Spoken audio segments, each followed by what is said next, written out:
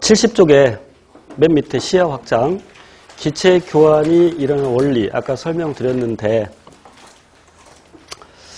맨 밑에 그림 보세요. 음, 아래쪽이 정맥혈이고 위쪽이 동맥혈인데, 그 동맥혈의 산소 분압 95라고 적혀 있는데, 뭐 대략 그렇다는 얘기지 딱 95는 아니란 얘기예요. 그래서 85에서 100 사이, 뭐 그렇게 구체적으로 않겠지만, 어, 동맥혈의 이산화탄소 분압이 35 내지 45가 되고요. 그러니까 대략 40 정도.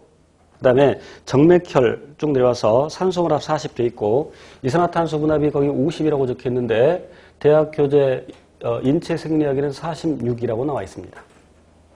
그 정도라는 뜻이에요. 자, 그러면, 어,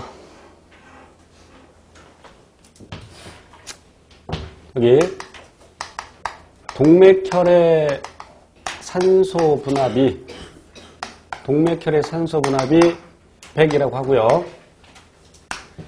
이산화탄소 분압이 40이라고 할 때 H죠. 이거 미리그램에 밀리미터 미쳤어.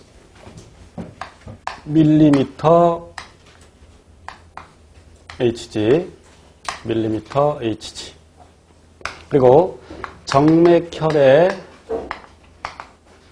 산소 분압, 이산화탄소 분압을 각각 정맥혈의 산소 분압을 40이라고 하고 이산화탄소 분압을 46이라고 할 때 우리 책에는 이렇게 50을 46으로 바꿔서 생각할게요. 자, 그럼 이제 혈액이 이렇게 흐르면서 이렇게 흐르면서 여기가 조직인데 그래서 조직으로 산소 주고 이산화탄소 받아오고 자,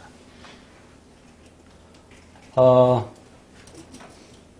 그래서 조직에서의 산소 분압과 이산화탄소 분압을 한번 생각해 보겠습니다. 자, 지금 여기는 무쇠혈관이에요. 그럼 이제 혈액이 이렇게 흐르면서 조직 쪽으로 산소를 주게 되는데 그럼 조직의 산소 분압은 조직의 산소 분압은 40보다 자, 만약에 조직의 산소 분압이 40보다 더 크다면 여기가 40인데 여기가 41이라면 산소는 거꾸로 가버리겠죠. 이해돼? 그러면 조직의 산소 분압은 40보다 작거나 같아야 되겠죠. 충분히 주, 충분히 산소를 줬을 때 다시 맞아? 맞지? 어,